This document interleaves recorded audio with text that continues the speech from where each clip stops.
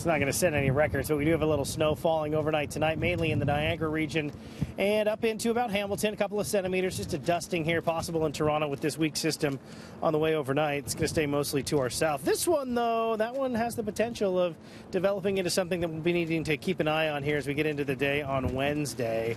Roughly right now, it looks like about 5 to 10 centimeters here with the current track staying just again to our south. So the plan is for Wednesday, this system that is developing to dive down to the south, pick up a little bit of Gulf moisture, and then bring the top side of that storm system across for us. So the early snow projections ranging at about 5 to 10 centimeters. It's going to be a big deal across the Ohio River Valley and areas off toward the east. It'll probably grab some headlines. So if you hear about a big system, that's the one they're talking about, but it's not a huge deal for us. There's a system overnight tonight just a little dusting. We'll get some lake snow back in behind it, impacting areas toward the Bruce Peninsula. Here's the snow on Wednesday, and it'll be a timing issue. So starts to fall and starts to stick during the morning commute. That could slow things down a little bit. The bulk of it falling through midday and then wrapping up by the evening commute. So hopefully crews have enough time to get out there and clean things up before that evening drive.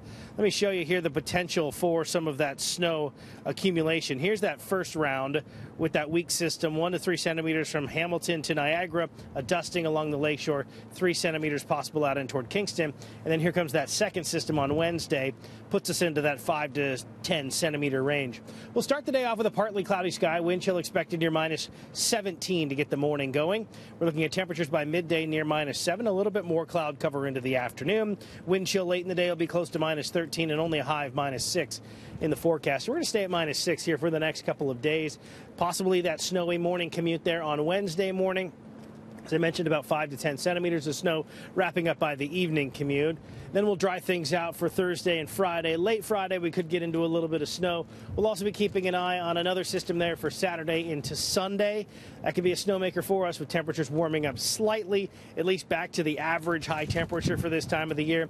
And it looks like we'll stick with some of that colder pattern as we get into the first part of next week.